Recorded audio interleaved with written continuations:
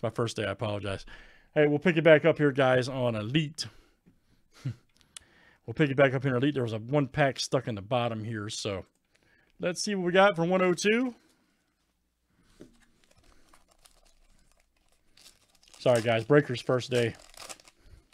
He's a slacko. Bridgewater. There's Rivers. Oh. Hey, we'll take that. Joe Burrow right there. Nice one for Mark. Roethlisberger and Zeke. Okay. Very good.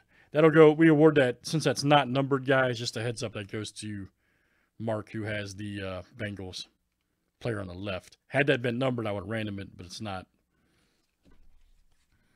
But hey, we'll take it. Thanks, guys. That's truly the end of the box. Okay.